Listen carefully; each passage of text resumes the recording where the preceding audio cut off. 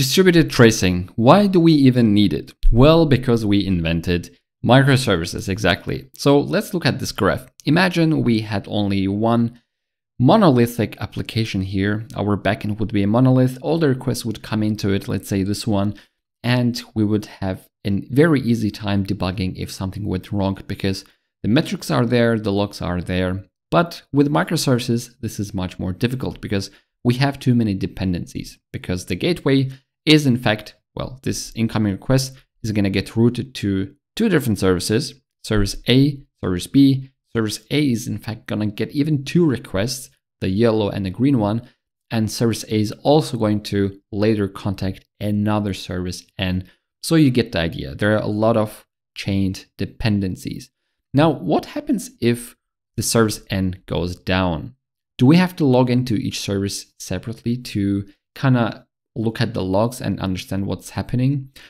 Is there maybe one central way to do this? Probably. But imagine another scenario.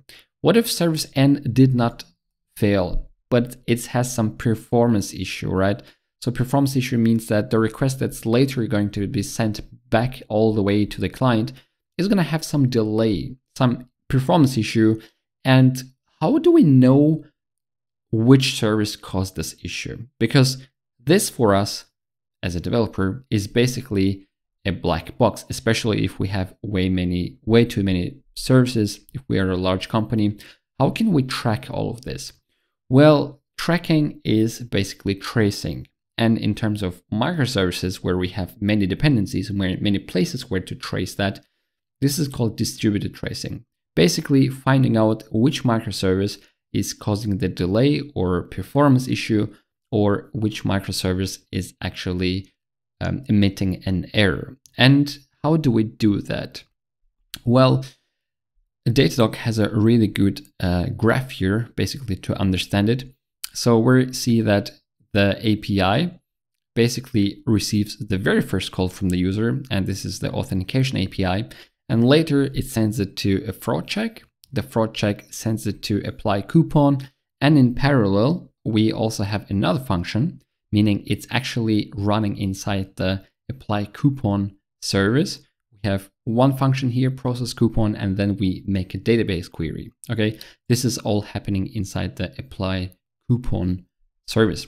Now I also put these two guys here, trace ID and span ID. These are very crucial things in the world of distributed tracing because every time a request is coming into our gateway, meaning our entry point, a trace ID is going to be assigned to this request. So this purple line is going to have a trace ID. And wherever it goes through the system, right, this, let's say this purple line is eventually going to end up at service E, it's going to carry this trace ID with itself. It's going to pass it through headers under the hood of the framework that you use. And eventually, even service N is going to know that, well, this actually initiated all the way here and it initiated from this particular request. Means we can actually trace this single request across the whole structure or across the whole architecture. And span IDs. Span IDs are going to get created for these particular connections. So for this one, it's going to have its own span ID because this is a request within the system. And this one is also going to have its span ID. Basically, span IDs are going to be applied to every internal request. So you get the idea. One trace ID for the whole chain and span ID, which is actually the smaller chunks of these requests within the system. Well, there's going to be one parent span ID. For example, in this case, the apply coupon is going to have is going to be the parent and the process coupon is going to be the child span IDs because these are basically running within this span ID. And you can see that all of them have the same trace ID as I indicated earlier. All right. Now, there are many tools to do to check distributed tracing. Okay. Now, there are many tools to actually do distributed tracing. There's Jaeger, there's Zipkin. I kind of like Zipkin, so I'm going to demonstrate how exactly it's working. To make Zipkin work, you actually need to start a Docker container. To start this Zipkin Docker container, very easy. You just go to Docker Hub, you pull their image, you expose the needed ports, and then you're good to go. So the port that you're gonna target this time is 9411, which is the default port. All right. And now I actually have Zipkin running here. As you can see, my container is running and the image is also running. The ports are exposed, meaning if my in my browser, I can actually open Zipkin. All right. What also we're going to be using in our example in a minute, I'm going to show you the code and how exactly it works. I just want to say mention that our Zipkin is going to be connected to a tool called OpenTelemetry. Basically, a way of standardizing observability, the three pillars of observability, metrics, logging, and tracing. I'm going to talk exactly about this in the next video. So make sure you subscribe so that you don't miss it. Then you're going to have a complete picture. But what I'm saying is we're going to tie Zipkin into OpenTelemetry so that our data is much cleaner and easy to process. And later we have Zipkin UI to actually see this. It's going to be much clearer as soon as you watch the code now and you watch the next video, I promise. But before we dive into the code, because in the code we have the gateway, which is the app.ts, we have service A and service B, just like in a diagram, and we have some additional function um, code like instrumentation and tsconfig. Well, duh, we're using TypeScript.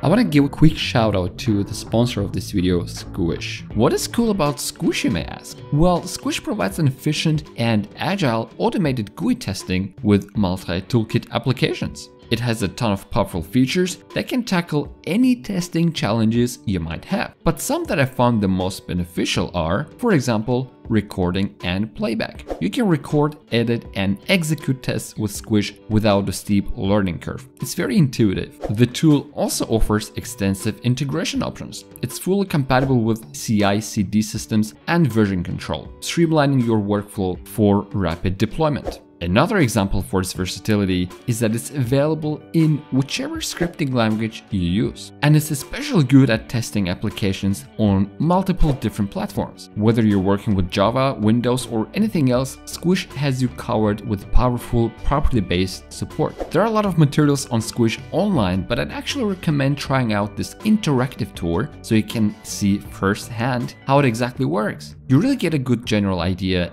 and feel of the tool. If you want to support my channel, then make sure to check out today's sponsor. You will find the link to the tour in the video description below, so go try it out and let me know what you think. And now back to the video. So as I promised, we're gonna take a look at our gateway.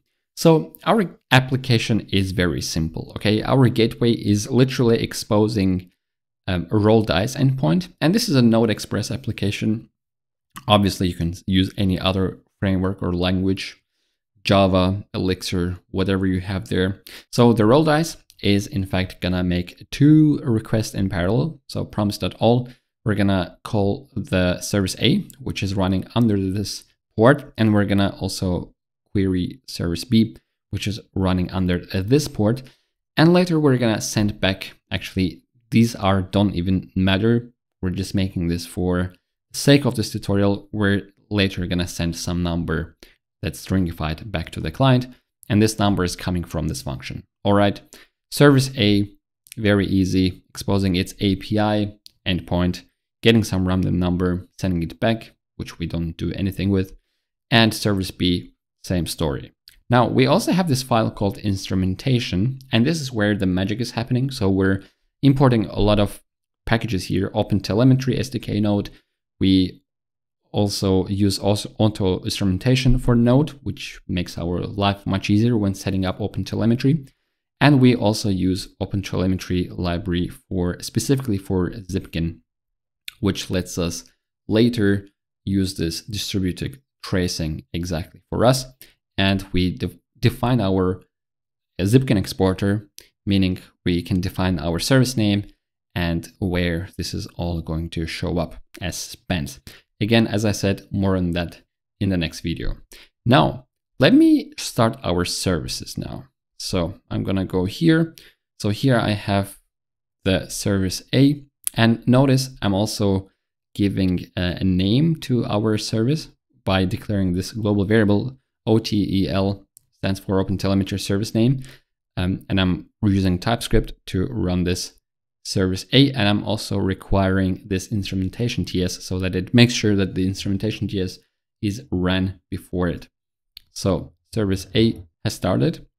Now we do the same for service B and we're going to do the same for AppTS, which is the gateway. Okay, now all of our three services are running. What I'm going to do is make a simple HTTP call to the gateway called roll dice. And I'm sending a request. Okay, so now we got an answer, 200. Everything looks good.